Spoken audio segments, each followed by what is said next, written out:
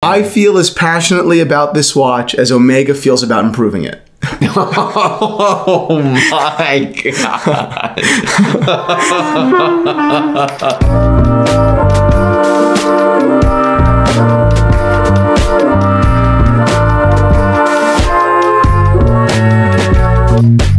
1932, Omega brings 30 chronographs to time the entire Olympics, the most important sporting event in the entire world. Mm-hmm. Then, since then, they've released some of their most beautiful watches ever in this collection. And now we have a new watch, which I wouldn't say is the most beautiful watch ever in their collection. Really? Yeah. Okay, I'm looking forward to seeing it. Let's do it. What is up, Watch Fam? I am Christian, the curator of the Theo and Harris Vintage Watch Shop. My name is Michael, and this video is sponsored by Domain Money. Terrific. More yes. on them later. Um, all right. So today we're talking about one of my favorite brands, one of your favorite brands, yes, right? Indeed. Omega. Yes, indeed. We've recently been really impressed with their uh, whole Seamaster line, right? All the shades of blue. Yes. They did a great job. Uh, Omega's had kind of a weird year with their releases. There hasn't been like one big pop and circumstance moment. There's been a bunch of little releases. Pop and circumstance. Kind of odd, but now there's another one. Huh? Vocab word. The Olympics is next summer. This is nothing new. Omega always releases watches to mm-hmm. commemorate Olympic events. Mm-hmm. Some better than others. Some better than others. There's a there's definitely a golden era. So we'll go through the list of watches that Omega released, ending on the modern one, but also paying special attention to the first, the third, and then one that actually got re-released in 2007 because I would say it is probably the most beautiful Omega of all time. Really? I think you'd agree. Wow. Yeah, okay. you've probably seen it before. Terrific. Too. I'm looking forward to it going to say was I think that it's really the Olympics is one of the very few you know, events or or sponsored events that actually like matter with watches, right? When you like, think about we're the actual we're actually timing it. Yes, and when you think about how important this is, like I was thinking about 1932 the first time, I was like. I'm assuming you did a good job timing the event. Yeah, right. But like, we're, are records from 1932 really hard to beat now, or were they really easy? You know what well, I mean? That's like, different. Yeah, like I think that just our athleticism has just changed. Right? No, of course. But, I mean, like was it like, oh, for some reason 1932 was incredibly impressive, yeah. and then 1936 was not? It's just crazy, like looking at the technology when you go back in history and watch history, and, and when they invented, you know, lasers later on, but even before then, you know, they were timing mechanisms that had like this string that when the string would break, that would set the mark, that would cut the tape. Yeah. And that, you know, it's wild to see the evolution of professional timing. You've right? never, there are very few events that a watch company can do where messing up would make an entire nation angry. Exactly. And I don't mean just the people of the nation, like just the commoners. I mean the government, everybody. Exactly. Like, no, no, no. Exactly. So 1932, they had 30 chronographs to time the entire event in just one watchmaker, mm-hmm. which wow. is crazy. Yeah. Then we'll skip to 2010 briefly, just because this is the coolest piece of technology I think Omega introduced. That is a starter gun. That's cool. Yeah. So that you is really cool. Shoot it. It or you pull the trigger, Sets light the pops out, and then behind the people there are speakers that do like a cap gun sound. Wow! And you go, and, yeah. that, and that sets the time. That sets the time. Wow. Yeah, exactly. Very cool. Can't be more precise than that. Nope. So then we start off. Obviously, this is the original 1932 Olympic stopwatch. So now they obviously go for six figures. You'll also remember the Speedmaster that paid homage to the. I do remember that. Yes. Now you can start to see the connections. Yep. Beautiful. Absolutely right. Then immediately. wow. Immediately. Oh my god. This may be the most beautiful Jesus, watch Mary that Omega has ever released, Oh especially on the bracelet. Created to commemorate the Melbourne Olympic Games in 1956, these watches were one of the first Olympic watches that Omega created specifically to commemorate the games. Oh my This god. is prime Omega. This logo on the dial. It's amazing. Oh, it's fantastic. And you know what I really like? Hmm. The fact that. You're like, dude, it's actually the logo in the center. I'm like, yeah. I'm like Yeah, like uh, so, like super weird opinion. What I actually love about some, something Yeah, maybe you didn't notice is the rings.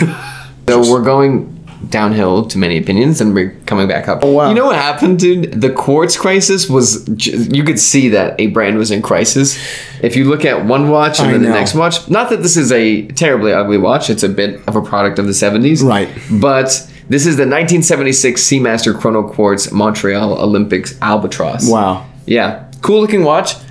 you just immediately see what happened with the quartz crisis. cool looking watch. I would recommend this to someone as like an Apple Watch alternative, right? Like, Yeah, yeah, you really wanna like, get hey, ironic. you like technology. Well, here's a good entry into fine watchmaking. Here's a brand, blah blah blah. Um, it, it's it's not something I would wear, no, but it is It's very cool. too. And if I did see it on someone's wrist, I would probably say something. Oh, if you, if you see this on someone's wrist, you'd be like, "Wow, you're Wow. really You're deep into Omega. Yeah, you're deep into Omega. This is also a very collectible piece to a lot of people because it's Olympics and Omega. Mm. Right. But it, it's the transition from what Yep. they were doing to what they started doing. Yep. Is wild. Totally. Then we move on. This is the re-release that we talked about, but this is the 2007 re-release. Mm-hmm. They only made 100 of these stopwatches. Again, fantastic watch. Yep. Then we go to 2008 and we get the 16 re-edition. Wow. Fantastic. Still, it's not the original. They don't have that beautiful cross in the middle or anything like that, but that design is very, very difficult to beat. I think that's fantastic. Mm-hmm. I think if I was a, um, which is funny, I know someone that does sit on the Olympic Committee. I should read for LA Olympics for whenever the hell that's coming. Um, but that, um, like that would be the watch that I would be wearing if I like one of these watches. If I was an executive at the Olympic Committee, I'd be wearing like a vintage Omega Oh, like with this. Olympic uh, Olympic double stamp. You know, not the later ones where it's just like the circles with Oh, we'll different get to that colors. because yeah, that- this is what I'd be wearing. when we get to the, what we'll get into in a second, I feel like there's a noticeable change between what Omega was doing and then what they decided the Olympic commemorative watches were going to be. Yep. But before we get there, you said, when are the LA Olympics? Are there Olympics in LA? Yeah, twenty like twenty eight or twenty something like that. That's when Omega start. They started in LA. Did This would be the first. I thought they started in Greece. not Olympics. No, no, no, not that. so that would probably be a sick re-release. Yeah, that would be cool. Yep. but they'll probably do the uh, stopwatch. This video is brought to you by Domain Money. You can have an accountant, you can have a broker, you can have a ton of different things, or you can send everything through Domain Money. Yeah, I, I think that you know money is truly one of the most you know difficult things even to manage once it's earned. Right? It, it, is, it is a very difficult you Well, know. manage, save. Well, I don't know. I don't wanna It's magic budgeting. Say it, it's it's it's it's budgeting, saving, Taxes. I need insurance. I need taxes. I need this. I need that. Exactly. It- you know, you work so hard all year to, to make however much money you do, and then it's a whole separate issue on on what to do with that money or, or who to trust, you know, Yeah. with that money. So having using domain money, having a, a financial advisor, basically a concierge, someone that is on call to to discuss via you know text, phone, email, whatever, uh, is incredibly valuable. Right? You work so hard to make whatever money you do all year, and then it's a whole separate job to figure out how to basically make the most out of it, how to make the most uh, informed decisions in all these different facets, right? So domain money helps you with exactly that, right? They assign you a personal advisor. Our guy's name is Brian. What's up, Brian? What's Brian. up, B? Uh, and, and, and you develop a personal rapport with someone that is an expert in in these fields, right? That can lead you the right direction. Uh, and- and let me tell you something. During tax season, it's incredibly helpful. Um, but even just in, in general month to month accounting, um, I'm definitely the sort of person that needs someone like that, right? There's so many different things going in and out, and accounts receivable, and all these different reoccurring payments, and all this. Yeah. So to be able to have someone to say, "Hey, what's up, dude? Uh, I think you need to take a look at this." You know, when you have a second, uh, I wouldn't have done that, right? I just wouldn't have been on as uh, as on top of it. Yeah. Um, you, you are working, and when you're not working, you're trying to enjoy your life. Uh, and I just I, I refuse to be the sort of person that at the end of their long workday sits in front of you know a bunch of pieces of paper trying to make sense out of what to do with whatever money you were able to make. Right? I, Yeah. I just I just refuse to be that person. I'd rather spend the very small seventy nine dollars a month uh, to buy that time with an expert, so that when it is my turn now to make decisions, I have all the information. So yeah, your advisor is there not only to manage your current money, but to also help you project what you'll be making or what you'll be doing in five, ten years, so on and so forth. Understanding your goals and reverse engineering them. Like we said, it's also incredibly important that it's $79 a month because a lot of the times if you're working with a broker, it's 3%. What is Yeah. 3% on my net worth? That varies a lot. Same thing when you're paying your taxes, that's a separate fee with other accountants and stuff. And even with the brokers and the accountants, again, there's so much of a difference between those guys that you can't Yeah. ask a question to this one. It's not their field. The seventy nine dollars a month is is just it's a it's a one stop shop. It's just it's just worth it, right? It's just worth it. Yeah, and you can use our link to skip the waitlist and try domain risk free for 30 days. I definitely think you should. I'm sure you'll be as lucky to find a, a manager through Domain Money like we did with Brian. That is just not only helpful, but just a really just great person that you're going to love to work with. So that's it. We're on a joint account. Yes. Yeah. 2012, Seamaster 1948, Coaxial London. This is obviously to celebrate the London Olympic Games. God, I had no idea. Yeah, yeah, yeah. Just wanted to let you know. Yeah, no, I really didn't know. Oh, really? I wasn't patronizing you. I, re- I thought I, I know I, I know that watch. I've seen that oh, watch. Oh, I just meant by the title. Oh no, no, but I saw the photo and I had no Oh, idea that was a, that was an oh. Olympic watch. No idea. Gorgeous watch. Yeah, super beautiful. It looks a lot like my Seamaster except with a subdial. Yes, it is. Yeah. Then we move on to Omega's current strategy for Olympic watches. We start off with the Omega Rio 2016 collection. Yeah. I like this, but it feels very 2016. Mm-hmm. Palpably 2016. Yeah, I think you know, I don't know. It's cool. It's, It's- cool. It's probably yeah. better on a, on a NATO or something. And on the wrist, it looks cool because you have those pops of color. That's It nice. does. But you need to be really into the Olympics, like, or you need to be a bit into the Olympics. Yeah. There's, You know? especially the one thing that everybody calls out about this watch is look at the size of the date window. Yeah, It looks very, undersized. very undersized. Totally agreed. So this is a noticeable change, and we'll kind of extrapolate on those thoughts when we get to the newest watch release, which is now. Sorry, Yeah. I ended up cutting off there because the 2016 Rio collection, moving forward, all the other releases kind, of have the same DNA. Yeah, yeah, yeah. There, Omega has an official like Olympic collection now, which is you've probably seen it. It's like green around the dial and blue or whatever. I can also. Mm. show you if you need to see it. But noticeable change. This is the 2024 Paris Omega Seamaster 300M Special Edition. They use moonshine gold, which is the first thing I'll say. Immediately, I was like, that feels like a swatch term now. Moonshine gold? Yeah, right.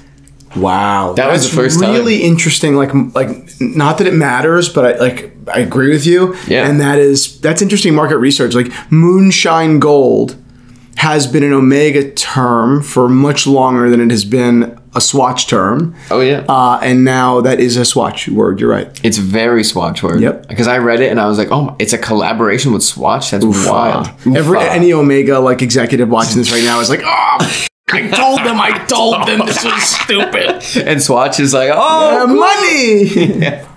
Again, date window is tiny. Um, the, I feel like this is one of the most beautiful Seamasters that I've seen in a while in terms of look.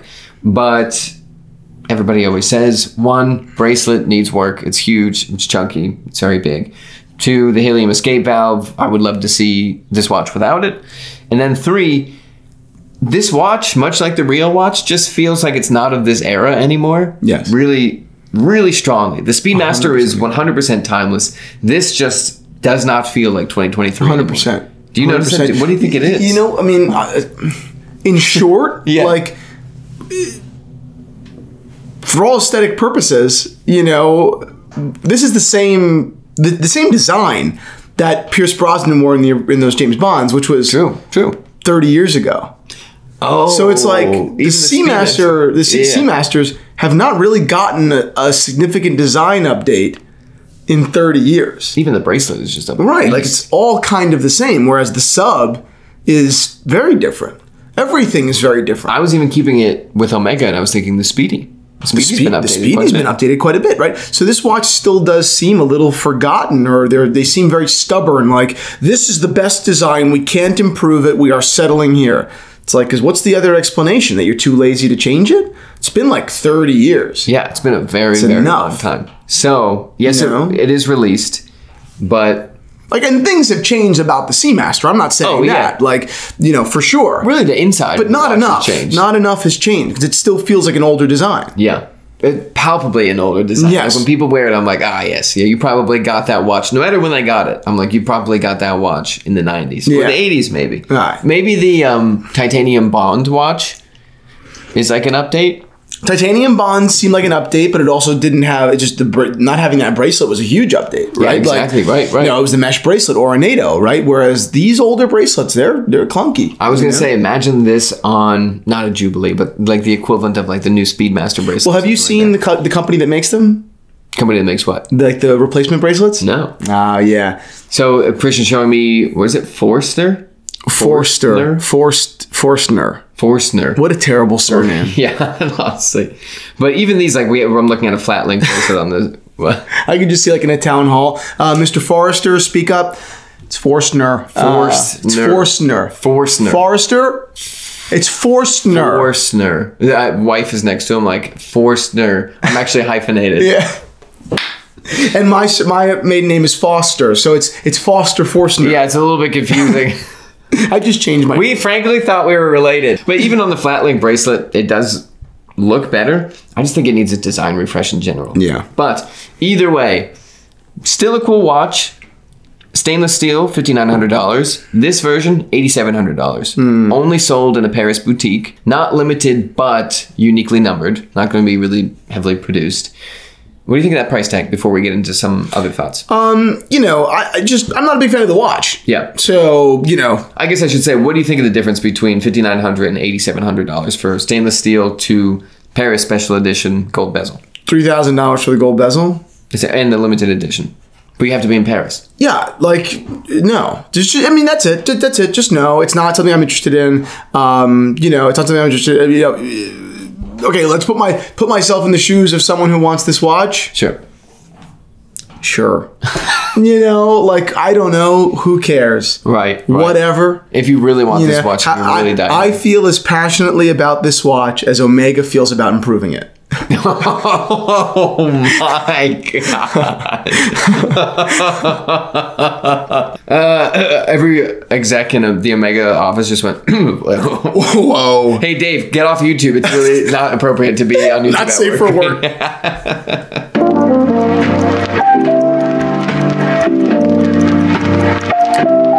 straps, um, as many of you should know, bring a whole world of potential to mix up your watch collection. They breathe new life into watches. They help you pull out different colors. They, they give them new personality. Straps can be uh, very addictive. I know people with two watches and 10 straps because it adds so many facets to a collection in a, in a fairly you know, easy and fun way. So that's why they become such a part of the Theo and Harris, you know, culture and identity. I think we sell more exotic straps than, than almost anybody because I just love them so much I love sharing them with you.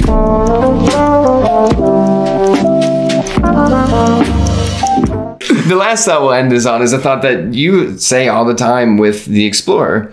The Explorer should not be a steel watch anymore. That doesn't particularly make sense. Hmm. It probably wouldn't be wearing a watch, but if you were, it's titanium. It has hmm. this value, has that, has this, has that. Same with this watch. The Omega Olympic Edition, honestly, should probably be a chronograph, first and foremost. But second off, why is it made out of steel and gold? Although I will counter, of course, like the originals were a little different design language, being full rose gold. I feel like that had a stronger purpose. This to me just seems like a mix of like, well, they're like this. We'll just do golden. I'll go. I'll, I'll. I'll even go a little bit further. Yeah. I think it's all wrong in theory. All of it.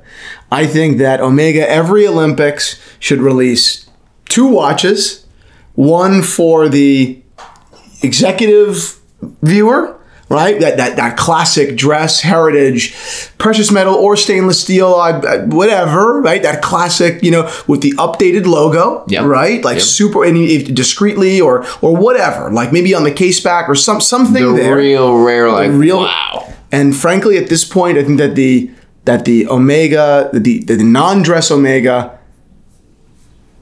probably should be a really incredible digital watch. Digital watch. Yeah. Wow. It should be just a just whatever like fantastic digital watch you can come up with, right? For for everybody else, uh, because that is the technology now that that actually measures time. wow. Right? You want to measure time on your mechanical watch. This year we do a time only. Next year we do a chronograph, but elegant.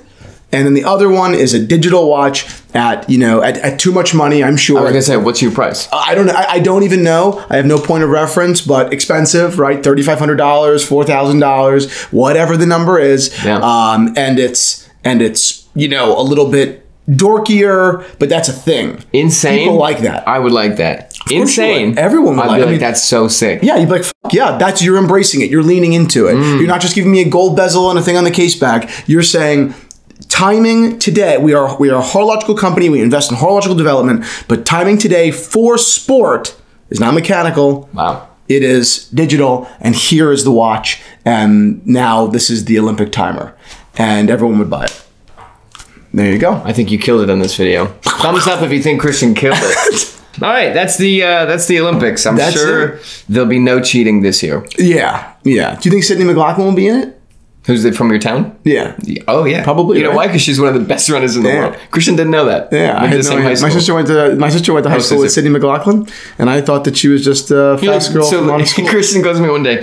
So my sister was friends with this girl who's like a really good runner. Fast. Sydney Sydney uh, McLaughlin. McLaughlin. or something like that. I'm like, what? She's very famous. She's Uh, incredibly famous. She's really famous. I'm like, that's not what I was talking about. What I was going to talk about with this. Tell me why she's famous later. I had a different point. Yeah, no, it actually was. Yeah. Anyway, thank you guys so much for watching this video. Uh, if you enjoyed this, give us a thumbs up for more watch content. And uh, if you want more watch content, head on over to the, our podcast, link down below at the zero. It is not free, but we give out credits to all of our members for the leather shop, so you can immediately go spend all your credits, and it washes out over the year anyway. So go ahead and join our family and listen to our weekly podcast. Boom!